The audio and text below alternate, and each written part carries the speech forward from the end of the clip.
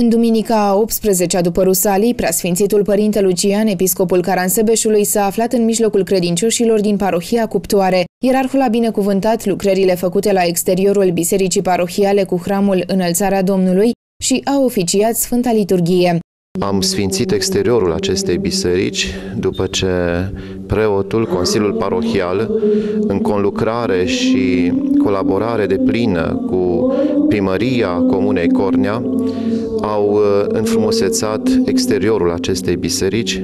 Am slujit Sfânta și Dumnezeiască liturghie împreună cu un sobor de preoți. Ne-am bucurat să vedem foarte mulți copii și tineri care ne-au întâmpinat de dimineață și au participat activ la Sfânta Liturghie. Totodată am observat că foarte mulți fii și fiice ai acestui sat au venit în prima duminică de toamnă la sărbătoarea acestei parohii, la sărbătoarea bisericilor, la înnoirea acestei biserici și totodată participând la Sfânta și Dumnezeiască liturghie. Biserica Înălțarea Domnului a fost construită între anii 1812-1825. Lăcașul de cult a fost împodobit cu pictură între anii 1994-1995.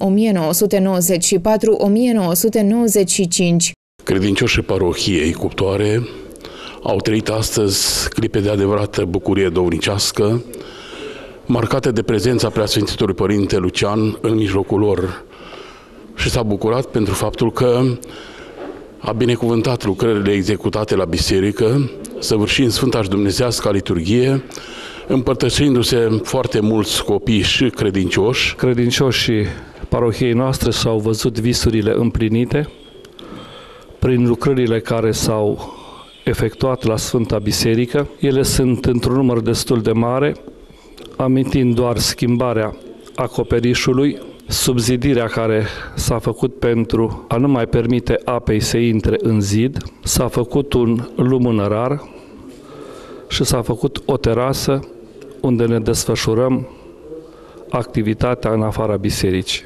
În cadrul Sfintei Liturghii, Părintele Paroh a fost hirotesit econom Stavrofor, iar ctitorii și binefăcătorii au primit din partea ierarhului acte de cinstire.